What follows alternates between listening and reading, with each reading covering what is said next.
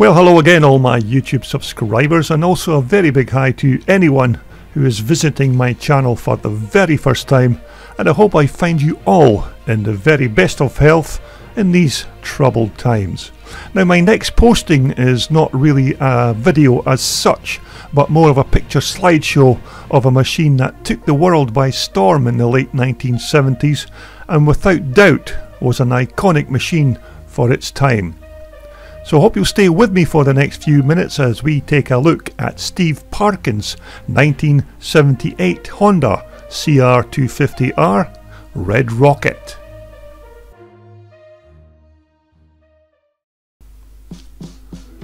Now this lovely example is a bike I spotted at a classic scramble in August of 2018 and although I never really managed to grab any video on the bike on the day I did managed to get these uh, quite nice pictures. Now at the time the owner Steve Parkins uh, did tell me that the bike had undergone a restoration although it's not been fully put back to its 1978 status as there are a few non-standard parts that have been replaced on the bike.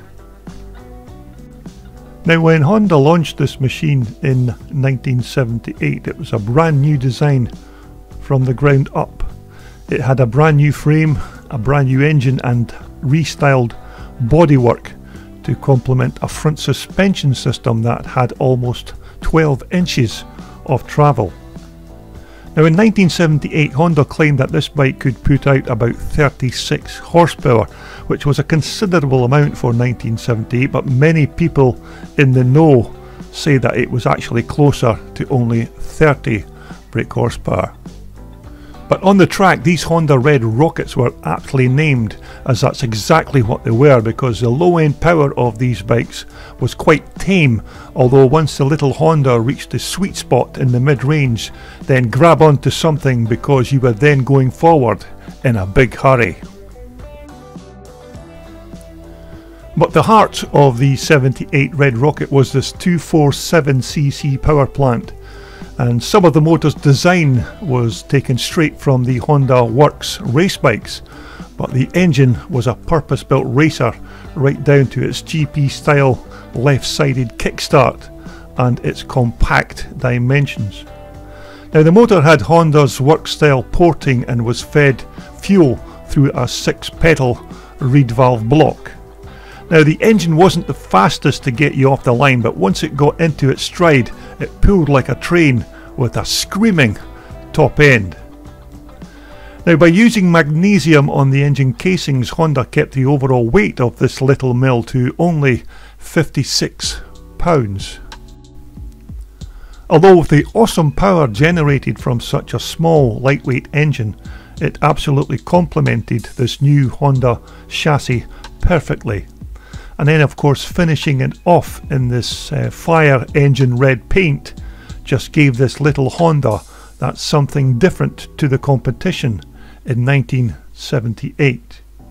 But make no mistake, when these bikes were let loose on the track in 78 there wasn't much that could touch them in terms of speed and pretty soon everyone and their dog wanted a Honda Red Rocket. Now also in 1978 these red rockets were reputed to have the longest fork travel in motocross with nearly a full 12 inches of movement which was actually 3 inches more than any of its competitor machines. Now these were 37mm Showa forks and were considered decent for their time and worked well on most racetracks although if it came to bumpy tracks with big jumps, they were just far too soft and just bottomed out too easily. Although there were plenty aftermarket parts available where you could change springs and valves, which did improve these forks' performance. But in standard trim and straight from the dealerships, there was no means of adjusting the forks externally, which was a bit of a letdown for most riders. Now the stock Showa rear shocks were a different story on this bike and these were pretty awful to be truthful. There was no means of adjustment and they didn't have remote gas reservoirs that other manufacturers were using at the time. Now riders often complained that these were far too harsh and had too much compression, uh, not to mention that they had been very poorly valved straight from the factory.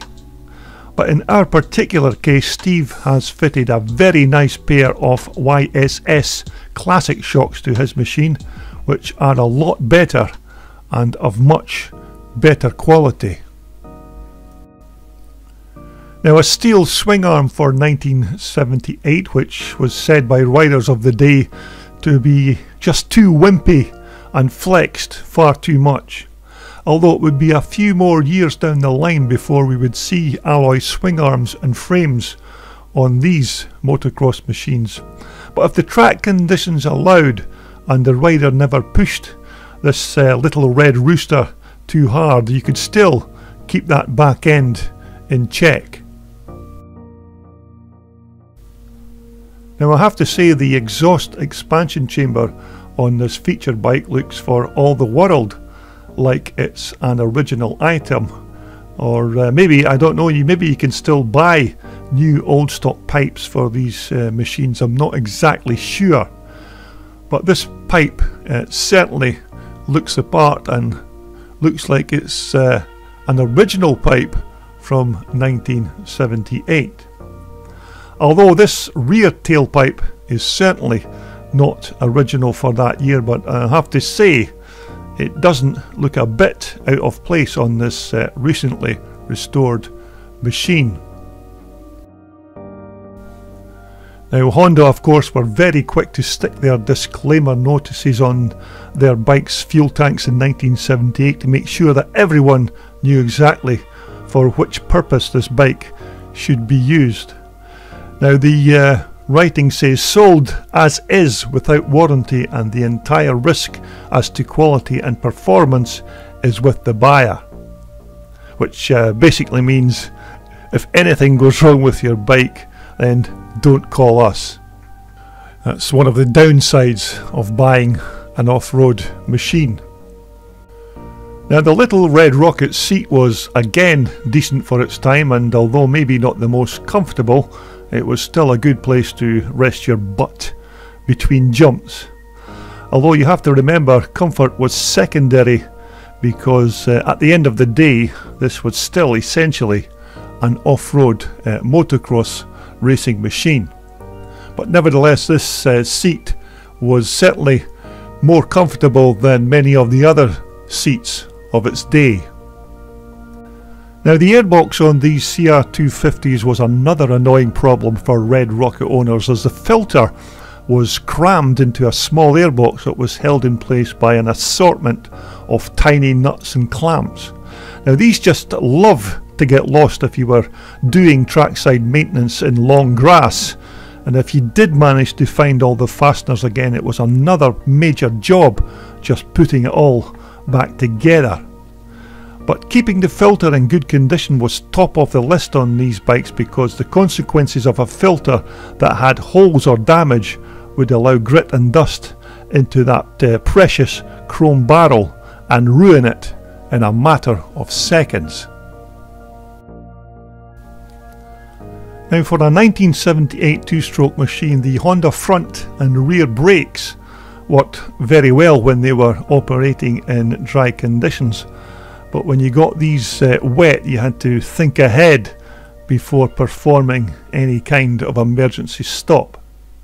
Now I'm not saying that these brakes were bad but uh, these were the technology of the day and hydraulic disc brakes were a few more years down the line.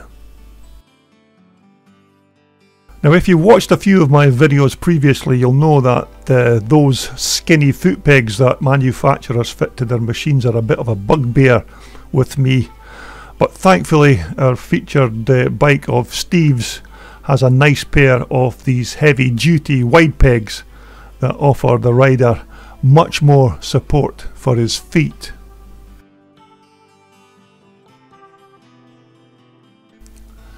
Now, as you would expect from a bike that's heading now towards 42 years old, many of the bike's controls are not the originals and have been changed for these replacement parts.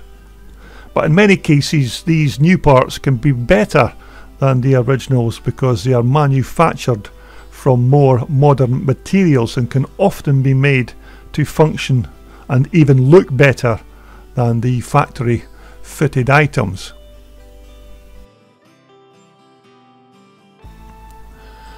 But one of the other little niggles about this 250 Honda motor from 1978 was that it had a chromed bore in the cylinder which was said to dissipate heat better than a traditional iron liner.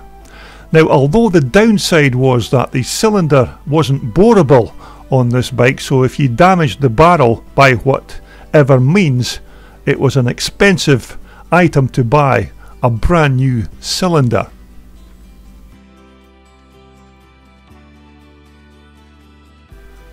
Now, just in case I get bombarded once again with arguments about the bike's year of manufacture, I hope this uh, little clip helps you all out with that particular fact. But when Honda launched this little beauty in 1978, it was an absolute revelation in motocross, and the world had barely seen anything like it previously. Now it was only a 250 but it had a decent chassis, an unbelievably good stonking little motor decked out of course in that uh, bright red colour. Now although this bike was a motocrosser built for the mass market, it still had a lot of technology especially in the engine department that came straight from Honda's works bikes. And so there you have it, another iconic motocross machine from the late 1970s. That's Honda's 1978 CR250R Red Rocket. Now there are still many classics waiting in the Classic Dirt Bike TV pipeline waiting to be posted so hope you'll continue to subscribe to my channel to see more of this vintage iron.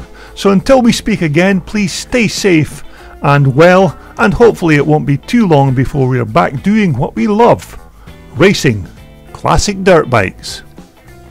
This video was brought to you in association with WorldSport, the world's number one supplier for all your off road and leisure sportswear.